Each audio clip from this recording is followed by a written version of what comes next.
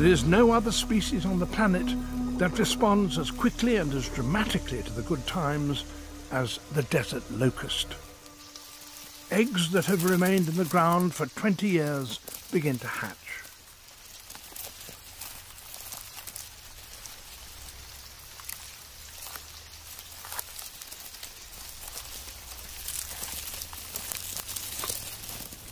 The young locusts are known as hoppers, for at this stage they're flightless.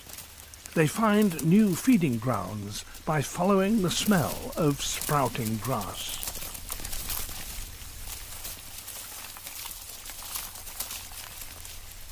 Normally, it takes four weeks for hoppers to become adults, but when the conditions are right, as now, their development switches to the fast track.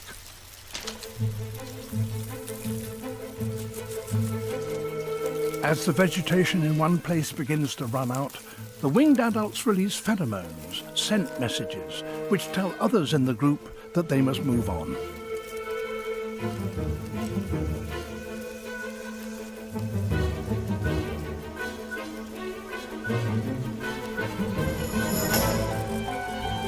And when groups merge, they form a swarm.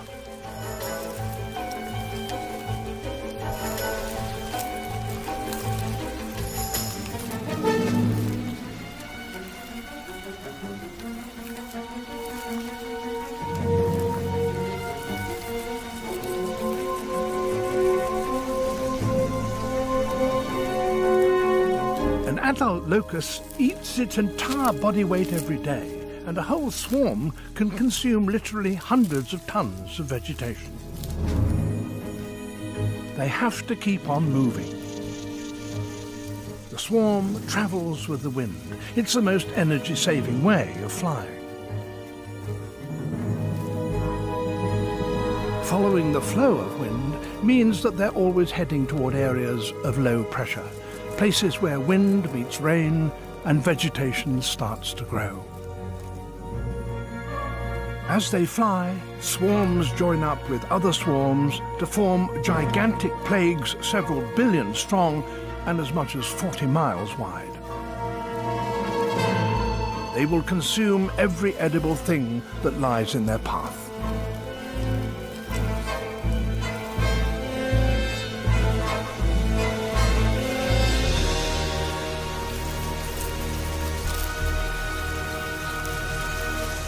This is one of planet Earth's greatest spectacles.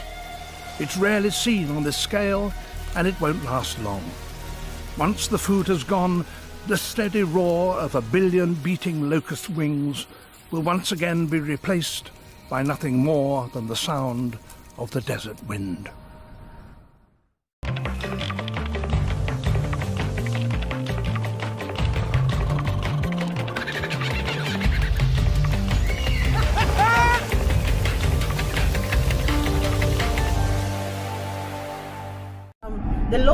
Are moving for about 150 kilometers, covering 150 kilometers per day.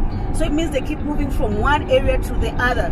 So it's a bit difficult to catch up with them, but we're hoping after this long drive, we'll be able to find some on the, on the ground.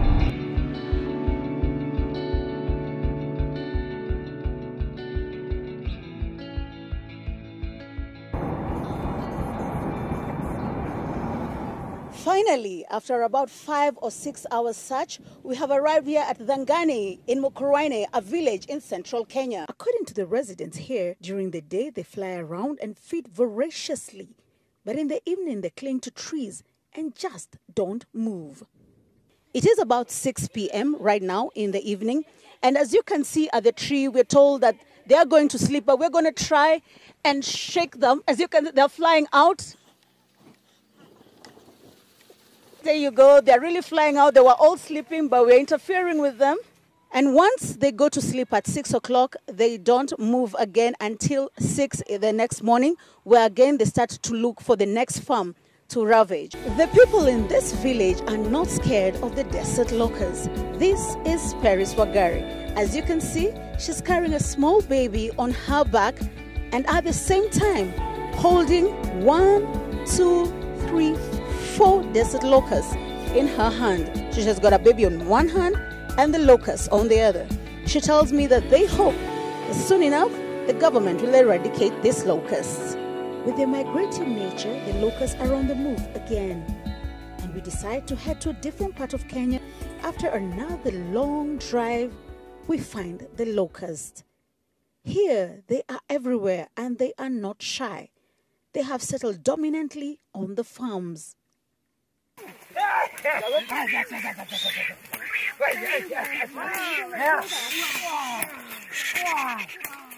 We also see the residents trying to scare them away. We'll be talking to one of them. Habari yako? Eh, mimi naitwa Ruth eh? Mateo Kizoka. He says his name is Mateo Kizoka. Wewe ni mkazi wa hapa? Mimi ndio mimi ni mkazi wa hapa. Hebu nieleze, mbona mkipiga hizi locust hivi mnatengeneza mnatoa hiyo sauti? Tunapiga hiyo sauti kujaribu kuonekana kwamba sinaweza ondoka siende, lakini nimekataa kabisa. Ah. So he says they try to make uh, the sound, uh, the loud noises while they chase the locusts because they have been told by the experts that the locusts are scared of loud noises. So as they wait for the government to intervene by spraying the pesticides, they're trying to take their own measures. A swarm of locusts can eat food enough to feed 35,000 people in one day, or even six elephants. We are in a region where over 11 million people in the three countries are already uh, in uh, acute food insecurity. At this critical point, the only solution that works is aerial uh, spraying.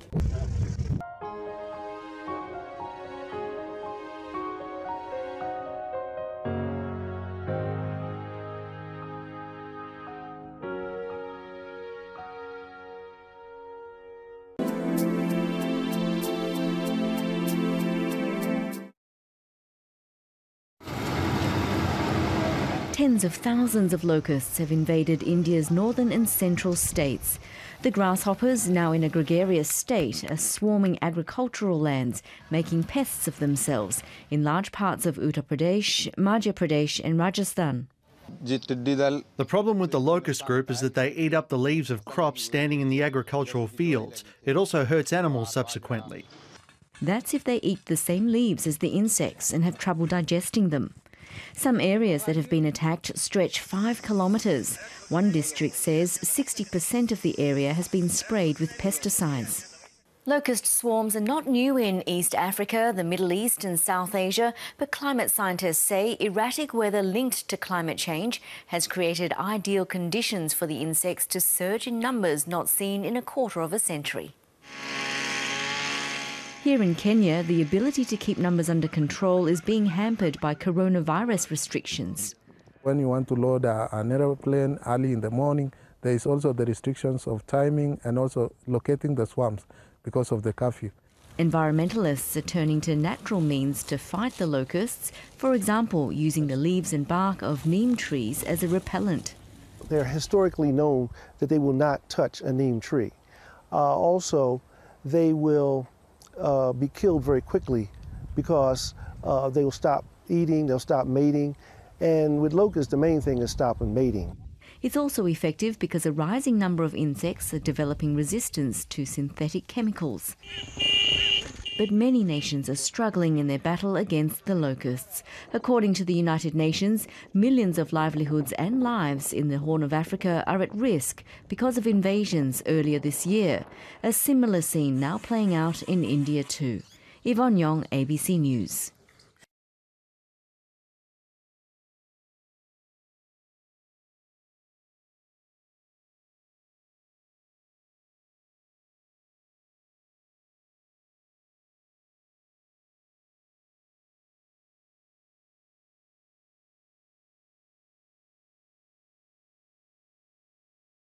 Música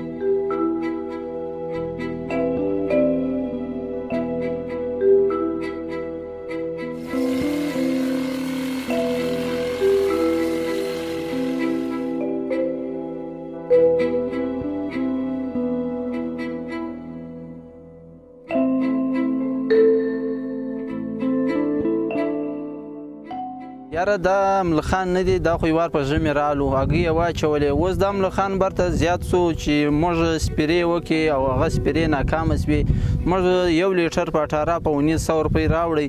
او زموږ په وس کې دا نه راځي. اول وار غنمو ته دا د تاوان ورسولی دی چې مازی مملکه در پاتې دی روان دي د درخت له سیبان له. او اوس دغه واره دی بیا د ټماټر دی. او ټماټر مونږ د دونه بوټي بوټي لګولې دا پر د اثر کټ کړی دي بیا پټاټي دي او بیا دا ترنګ بل او دا واښه دي شپېشت دي دا ترنګ ټوله شانې تباه کو. ټوله سیمه د ملخانو نیول کې د لحاظ ګورنمنت ته موږ دا خواست کو چې په سنجیدګي سره د دې د زراعت والا زموږ دا خواست په سنجیدګي تور سره د دې مخنیوي وکړي چې دوی اوس په ټوپ کې دي. کله ټوپ زباله بیا زموږ تر کنټرول مو دا بیا سیلاب دي د تر کنټرول مو